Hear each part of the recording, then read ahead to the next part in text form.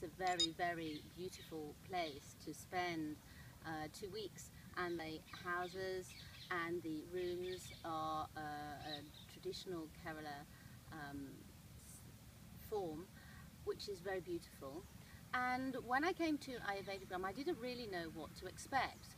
Um, I thought that I might be learning about food or uh, something about my body, about doshas, but I found that actually I learned a lot more than that. It's definitely a place that brings together and links together the mind and the body and the soul.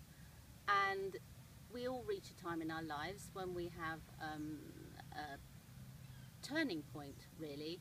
And this is the most caring place to come to, to and safe place to come to to work through difficulties of a physical as well as an emotional and mental nature. So um, I'm, it's my last day and I'm very sad to leave and I shall definitely be coming back um, uh, next year hopefully. Um, and I think that's mostly it. So I'm a little bit sad today actually, but um, hopefully I'll be back soon.